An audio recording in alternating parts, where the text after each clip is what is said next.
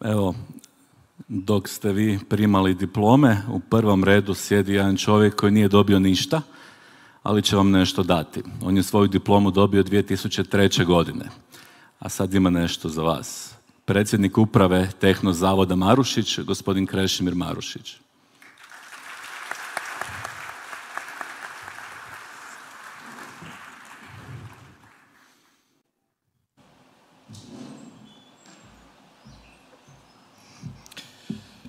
Dobar dan svima.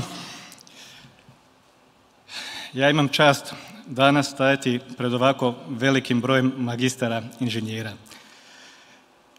Pred ljudima koji su izabrali, završili jedan od najtežih fakulteta u Hrvatskoj.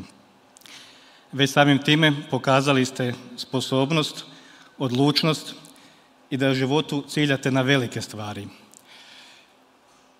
Dokazali ste da velike stvari možete i ostvarivati. Ja vam tome iskreno od srca čestitam. Kada sam prije dosta godina stajao ovdje gdje vi sada stojite, sjećam se jedino vrućine. Moram priznati da se ne sjećam govorancija šta je ko pričao, ne sjećam se čak ni dok sam diplomu primao. Sjećam se jedino da je bilo vruće i da sam samo čekao kad će to više završiti. Imajući to vidu, pokušat ću biti jako kratak.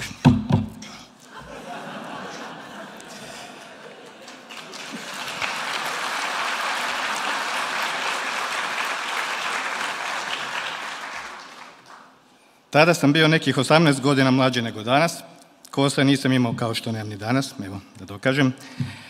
Bio sam sa surom Memom s kojom danas imam četvero prekrasne djece.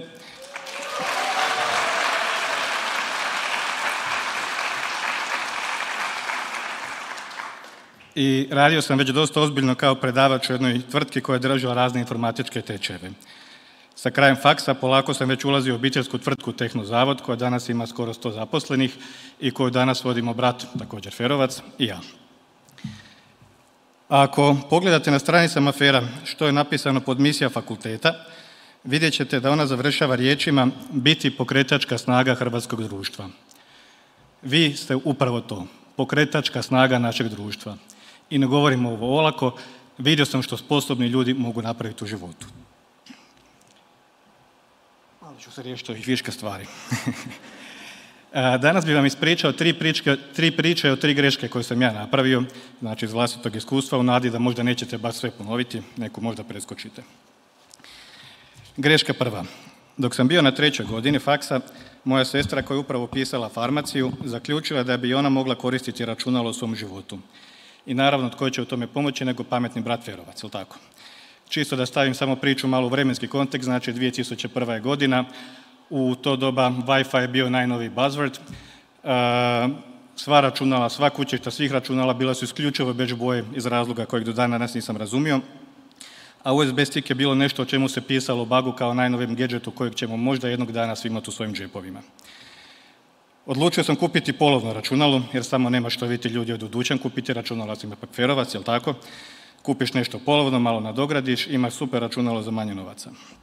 U oglasniku nađem novi Pentium 3, skoro novi, e, nazovem ljude i odem sa namjerom da još malo spustim cijenu. Došao sam na adresu neke stare trošne kućice na Ferenčici. Tamo je živjela peteročlana obitelj koja prodaje svoj prije godinu dana kupljen kompjutor. Najstariji sin završavao je srednju školu, trebao je položiti vozački, a autoškola bila je skupa. Odlučili su prodati računalo jer su bez toga mogli živjeti, a novci za autoškolu su im trebali. Tada mi nije na pamet palo da to znači da će mlađa djeca računalo gledati samo na slikama idućih godina. Nisam puno pažnje obraćao na širu sliku. Došao sam kao pametni ferovac koji zna sve o računalima, koji zna točno koliko košta svaka komponenta u tom računalu i naravno potpuno, nabrijem da spustim cijenu i da dobro prođem.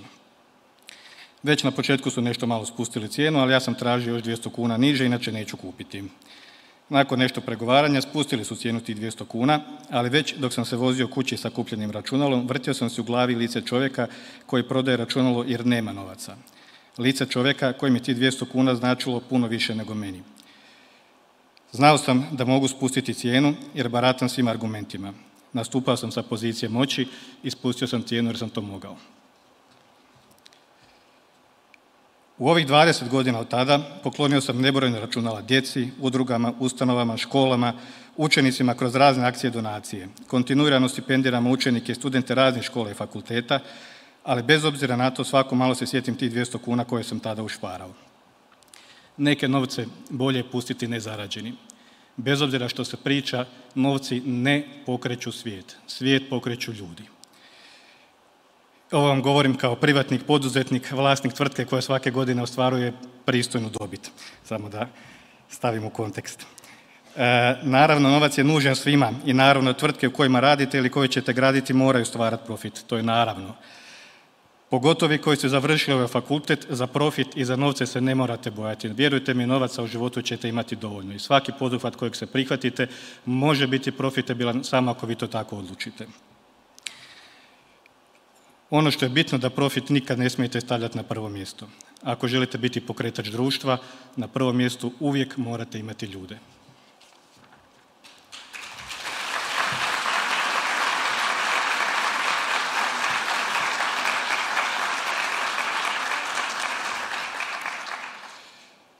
Greška druga. Prije nekoliko godina radili smo projekt za jednu veliku tvrtku koja je htjela dići sigurnost na viši nivo, pa su od nas zatražili da im instaliramo kompletan novi security sustav sa hrpom novih kamera, čitača, raznih specijalnih detektora i naravno sustavom, softverom za upravljanje svim tim. Razradili smo koncept, nacrtali nacrte, šeme, napravili specifikaciju i naravno ponudu. Nekako smo se oko većine stavaka usaglasili, međutim zapeli smo oko jednog uređaja koji između ostalog uključuje jedan specijalni namjenski kontroler. Taj uređaj im se činio skup i tražili su da im damo alternativno rješenje. A kada skupac kaže da date alternativno rješenje, to znači da mi nešto jeftinije.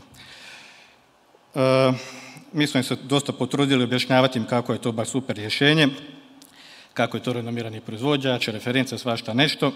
Međutim, oni su zauzeli, zauzeli čvrsti stav i kad ti takav kupac traži da nađeš alternativno rješenje, onda ga nađeš. Na kraju smo ponudili alternativno rješenje za tu stavku jednog kineskog proizvođača sa kojim smo povremeno radili, ali te konkretne uređaje nismo prije od njih koristili i nismo znali kako će to u stvarnosti raditi. Čak smo odletili u Kinu, direktno u tvornicu kod tog proizvođača, pogledati taj uređaj da li stvarno radi. I sad tu znate gdje je bila moja greška, znači ne vjerujem kad je neko u tvornici pokazuje da nešto stvarno radi. E, ured, sve, oprema je došla i taj uređaj je došao, mi smo instalirali cijeli sustav, instalirani su i ti konkretni uređaji zajedno sa tim kontrolerima koji su unutra, međutim, naravno sad znate, jel tako, nije baš radilo kako spada. Firmware na tim kontrolerima, kako se ono kaže, nije bio dorastao zadatku. Bagova, ajme meni.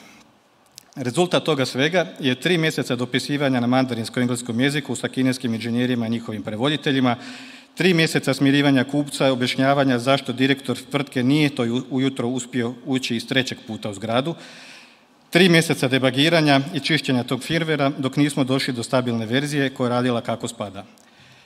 Preživjeli smo ta tri mjeseca i za divno čudo kupac i dan danas radi sa nama. E, na kraju su ipak imali razumijevanje jer su ipak oni tražili da im damo alternativno rješenje a mi smo čak firver malo dotjerali da radi neke stvari koje e, nisu bili ni tražili, dali su im malo i više. Ponekad prilike traže da se bacite glavom u nepoznato. To znači da će vas glava ponekad i boljeti. Trebate biti spremni na to. Bez rizika nema napretka. Da bi bili pokretač društva, nekad se treba baciti i na glavu.